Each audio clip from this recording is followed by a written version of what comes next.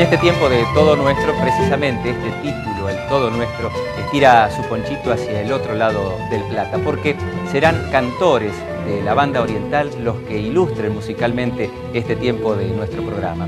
Y si queremos hacer alguna muy breve ubicación previa a sus interpretaciones, podremos decir que el padre de uno ha sido dibujante de letras, letristas, el padre del otro ha em, sabido manejar camiones, pero la casualidad en ambos casos se da que las madres cocinan como los dioses, de manera que esa, esa forma de vida cotidiana les ha permitido empaparse de ese sentimiento que seguramente luego se ha visto reflejado en su canción. Si también nos valemos de la matemática, podemos decir que en la segunda mitad del siglo XX han generado sus vidas, han desarrollado sus vidas. Y en la mitad de ese tiempo la han pasado juntos a propósito de los caminos de la música. Quiero presentarles en este tiempo de todo nuestro un dúo, Larvanois Carrero.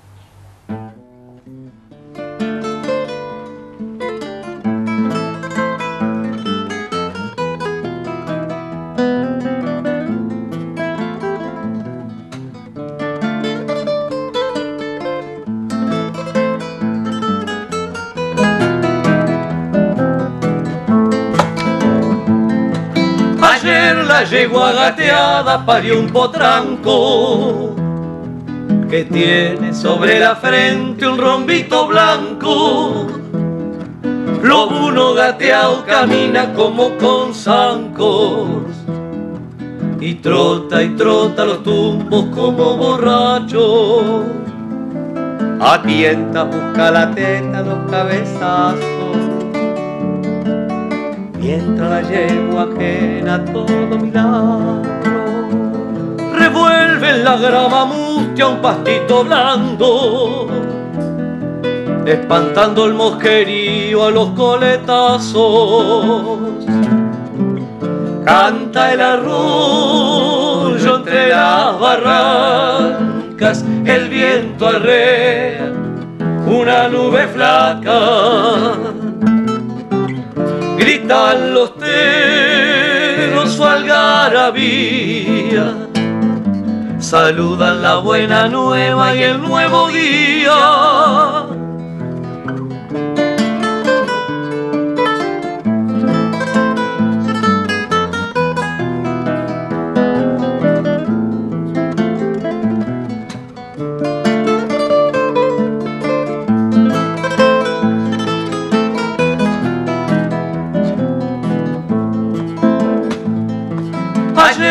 Yegua gateada parió un potranco que tiene sobre la frente un rombito blanco. Parió solita en los cardos, cuchilla abajo, sin más partera que el viento y el sol de marzo. Canta el arroyo entre las barrancas, el viento arrea una nube flaca. Gritan los teros su algarabía, saludan la buena nueva y el nuevo día.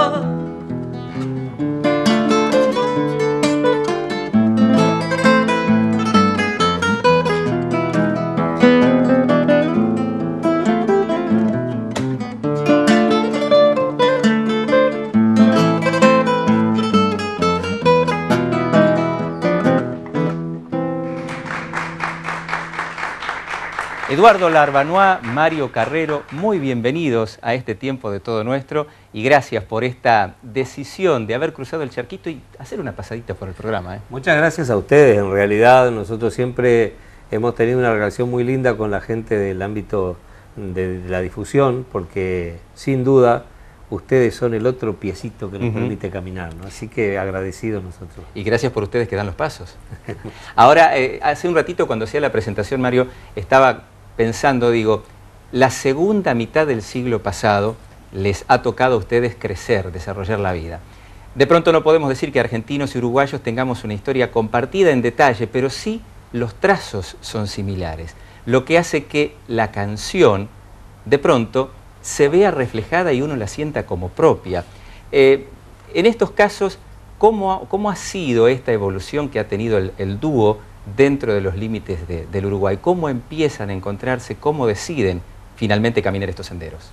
Bueno, el dúo tiene sus orígenes, obviamente, en la, en la generación del 60 del, Uruguay. Estamos hablando de, gente como Osiris Rodríguez Castillo, Aníbal Zampayo, Alfredo Citarrosa, Olimareño, Daniel Biglietti, que aparte también son parientes muy cercanos, hermanos de lo que es Don Atahualpa Yupanqui o todo lo que es la música argentina también de esos tiempos, ¿no? Y nosotros somos quizás esa generación que, llega después. Que recoge el guante. Que recoge el guante en un momento muy, muy duro, muy oscuro. Este, Uruguay en plena dictadura, los artistas, casi todos los que te nombré, por no decir todos, estaban fuera del país. Y bueno, el dúo arranca por los años 77, 1977. Y bueno, con, la, con, con esa cosa de llevar nuestra canción, llevar nuestra, nuestra identidad, nuestra forma de ser, nuestra forma de cantar, de entender las cosas, de pintar a la gente y a sus, y a sus tristezas, a sus alegrías, ¿no? Y al mismo tiempo eh, ocupando un espacio que en su momento se dio a llamar Movimiento de Canto Popular Uruguayo, que fue una creación del pueblo uruguayo en aquellos momentos sombríos, de una censura bastante dura, y que por esa misma razón de movimiento y de creado así, con esas dificultades, eh, fue difícil quizás identificar eh, personalidades concretas, individualidades concretas. ¿no?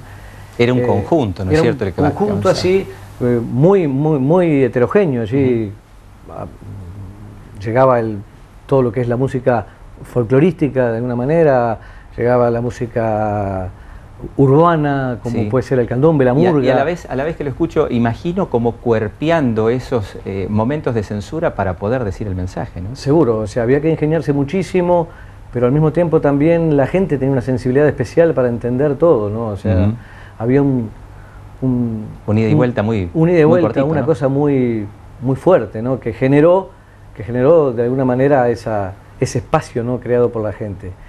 Y bueno, nos tocó, nos tocó estar allí y compartir eso, compartir después algo que fue el, el, sueño del pibe, o sea, el regreso de todos los maestros, Alfredo, Lemareño, eh, todo, y compartir con ellos. Eh, esos escenarios, ¿no? Recién Mario, entre la, la playa de nombres, hacía mención de los olimareños.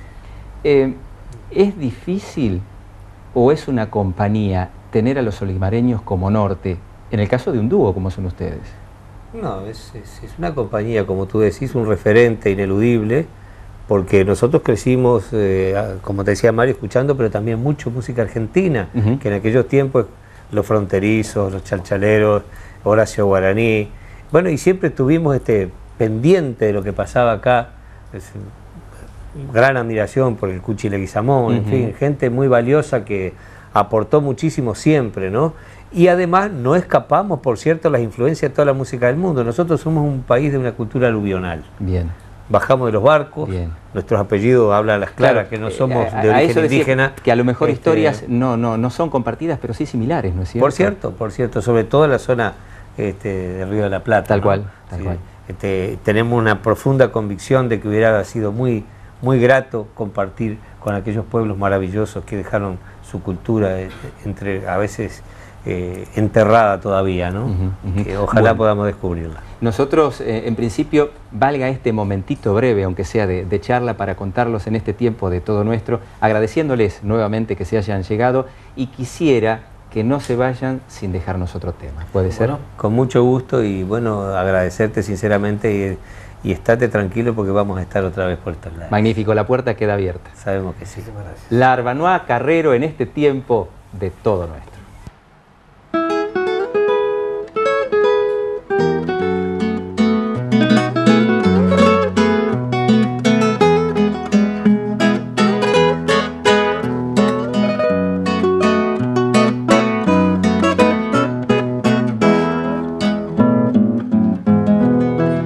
Santa Marta era una villa de Malbón y Rosaleda, laureles en la vereda y plaza con catedral.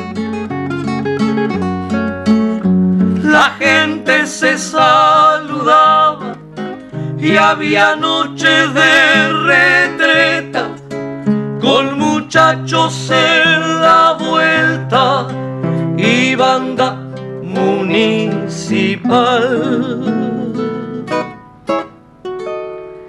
Las ventanas no tenían rejas y nadie pasaba cerrojo a la puerta y en los mediodías la ciudad desierta invitaba largas tertulias y siestas. No había velorio, casamiento, guerra que no fuera duelo nacional o fiesta en aquel lugar. Santa Marta tenía domingos de asados y vino de rueda de amigos en noches de trucos y tarde de canto, en tarde de invierno fritando y mateando. La gente tenía más tiempo y podía compartir las cosas simples de la vida de aquella ciudad.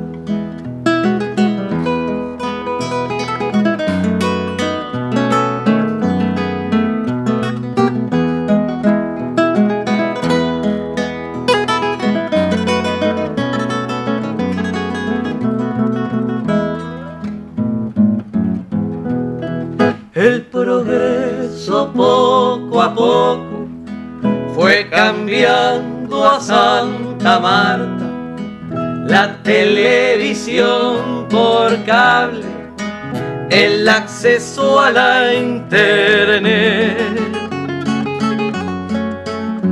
La gente se fue olvidando de sus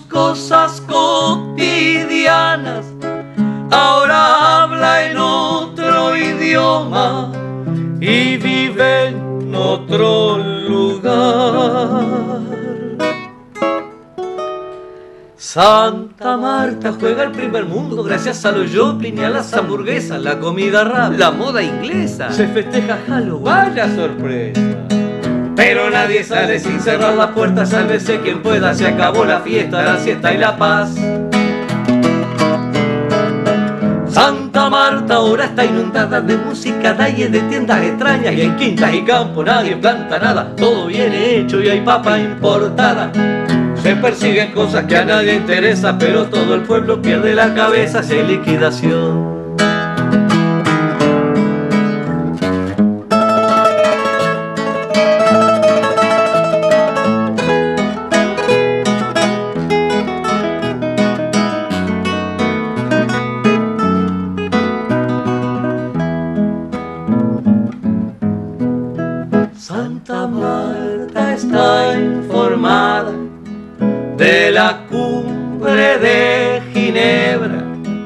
Si la reina estuvo enferma o Palermo erró un penal.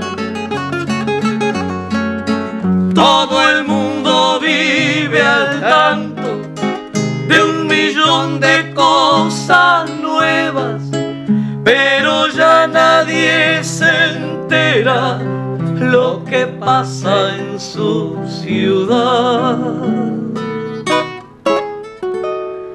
Y aunque malo mantenerse aislado cuando todo el mundo está tan conectado, si el diablo gobierna hay que tener cuidado, la cultura nunca puede estar de lado.